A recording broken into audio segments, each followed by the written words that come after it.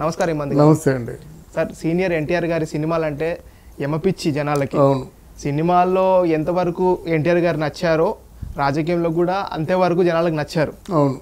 చాలా మంచి కార్యక్రమాలు కూడా చేశారు. అవును. ఇప్పుడు చూస్తే సీనియర్ ఎన్టీఆర్ గారి తర్వాత పవన్ కళ్యాణ్ గారి పేరే వినపడుతుంది. అవును. సినిమాలో కావచ్చు రాజకీయంలో కావచ్చు. అవును. అప్పుడు కూడా ఎన్టీఆర్ గారి పేరే రాజకీయంలో సినిమాల్లో. అవును. ఎలా దీని గురించి మీరేం చెప్తారు? ఇక్కడ ఎన్టీఆర్ గారికి మాసు ఫాలోయింగ్ ఇంత అంత కాదండి. విపరీతంగా ఉండేదండి.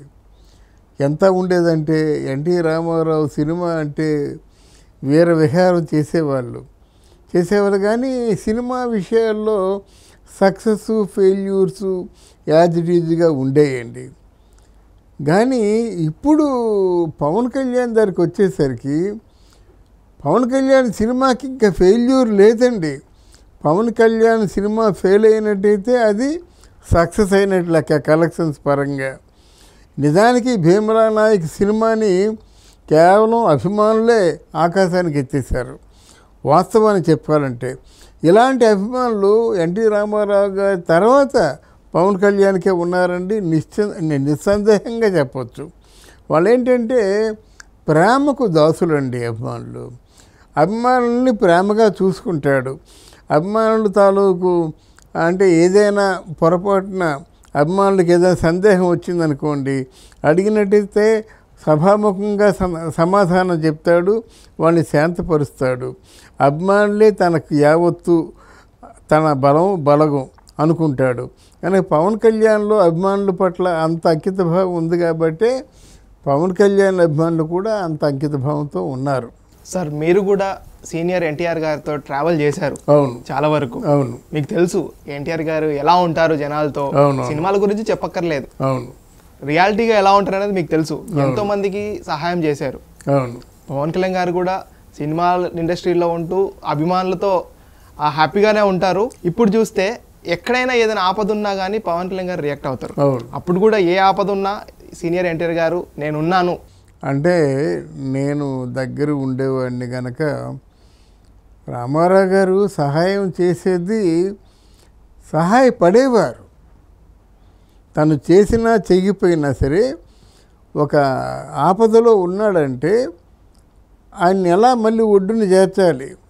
ఆయనకి ఎలాగ మళ్ళీ మనిషిని చేయాలి అని ఆలోచించి సహాయపడేవాళ్ళు సహాయం అందించేవారు. పవ- ప- పవన్ కళ్యాణ్ అలా కాదు. తన దగ్గర కోటి పది లక్షలు ఉన్నట్టయితే ఆ కోటి రూపాయలు కూడా విరాళంగా ఇచ్చేస్తాడు. ఆ పది లక్షలు ఉంచుకుంటాడు. రేపు అంతా ఏమి లేదు. పూర్తిగా నువ్వు అసలు జీరో బ్యాంక్ అకౌంట్ బ్యాలెన్స్ అంటే ఏమి అసలు తొనకుడు బెనకుడు మాట ఇలాంటి విచిత్రమైన వ్యక్తులు చాలా తక్కువ మంది ఉంటారన్నమాట. నీకు కోటి రూపాయలు పోయినట్టయితే నీకేం మిగలదు. జీరో బ్యాలెన్స్ అంటే పోనీ బ్యాలెన్స్ ఎవరికి కావాలి? మన తాలూకు పనులు జరుగుతున్నాయా లేదా కావాలి? మన తాలూకు ఆశయం నెరవేరుతుందా లేదా కావాలి? అని ఈ లక్ష్యం ఉన్నటువంటి వ్యక్తి పవన్ కళ్యాణ్. కాబట్టి పవన్ పవన్ కళ్యాణ్ అంటే అభిమానులు విడిచిపెట్టరు. రెండవది ఏంటంటే పవన్ కళ్యాణ్ పవన్ కళ్యాణ్ అభిమానులు ఎలా ఉంటారంటే ఎన్టీ రామారావు గారు అవుట్డోర్ అంటే మాకు చాలా కష్టంగా ఉండేది. అవుట్డోర్ వస్తే అసలు ఆయన కందిపోతారేమో భయం. అంటే మన గులాబీ పువ్వు రంగు కదా. ఏమో ఎండలో కమిలిపోతాడేమో కందిపోతాడేమో భయం. కనుక ఎన్టీ రామారావు గారు అవుట్డోర్ రావాలంటే గగనం చాలా మా విశ్వరూపానికి తర్వాత సర్కస్ రాముడికి వీటి సినిమాలకు వచ్చాడు. దాసరి నారాయణరావు గారే తీసుకొచ్చారు. ఏలేశ్వరం ధవళేశ్వరం కాకినాడ దానికి అసోసియేట్ డైరెక్టర్గా నేను పనిచేశాను. కానీ ఆ సినిమాలకు వచ్చినప్పుడు ఆయన పు- పువ్వులాగా ఉండేవాడు కందిపోతాడేమో అన్నట్టుగా. పవన్ కళ్యాణ్కి అది లేదు చలో వైజాగ్ అంటే వైజాగ్ వెళ్ళిపోతాడు చలో నరసాపురం అంటే నరసాపురం వెళ్ళిపోతాడు.